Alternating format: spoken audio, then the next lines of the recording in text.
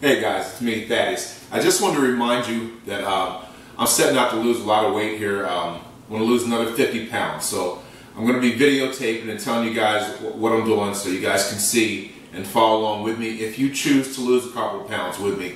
Uh, one of the most important things is to drink a lot of water. Um, I personally drink about a gallon a day. That helps me tremendously, helps keep me full so I don't want to eat as much, and water's good for you.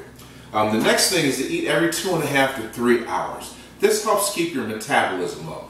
Now don't go to McDonald's, of course. You want to eat something healthy. Uh, I like apples. Did you know that there are so many different variety of apples that you could literally eat an apple every single day for two years and never eat the same variety twice? They're very good for you. Um, and they're very good. This is one of the one of the snacks that I have. I eat six times a day.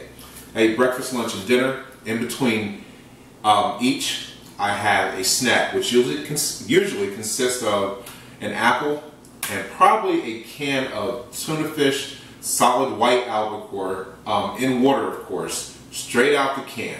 Um, this is going hardcore, but um, it's very important to eat every two and a half to three hours to keep your metabolism up. Um, it also does a, a, number of other things by eating every, keeping your your your, your levels balanced. Um, I'm diabetic.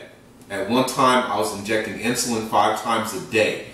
Um, I no longer take any medications at all. My type 2 diabetes, when I had a gluc glucose level, was 1,088. I know, absolutely ridiculous, right? It's on my website.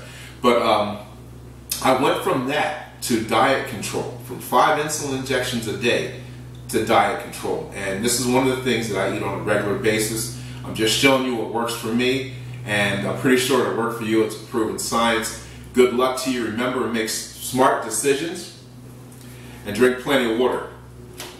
I'm Thaddeus. I'll talk to you later. Have a great day.